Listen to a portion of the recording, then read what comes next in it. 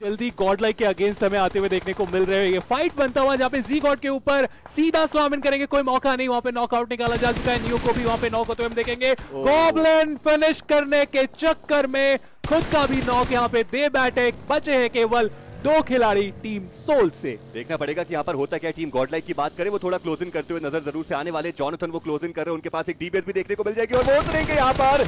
एक एम पे in fact M four one six पर उन्होंने स्विच किया लेकिन जितना तेज़ी में आए थे उतना ही तेज़ी में वो नॉकआउट होते रहेंगे शैडो अब शायद उनकी बारी है। हेक्टर यहाँ पर मौजूद ज़रूर से देखने को मिलने वाले लेकिन एक बढ़िया एफर्ट एक खिलाड़ी को डाउन किया डीबीएस पे स्विच किया लेकिन अक्षर को रहेंगे जो सेवियर का रोल अदा करेंगे।